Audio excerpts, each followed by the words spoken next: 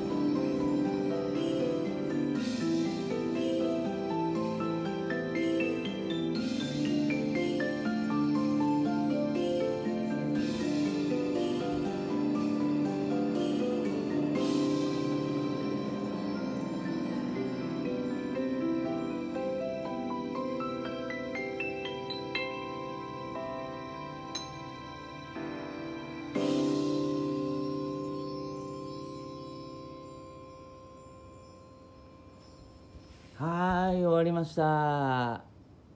いやー今日も気持ちよかったですね。はい。いやー今日はねまた割りがなかったんで特に楽でした。はい。そうですね気持ちよかっただけでした。はい。いやまあこれからエアドラムやろうと思うんでまだまだ体を動かします。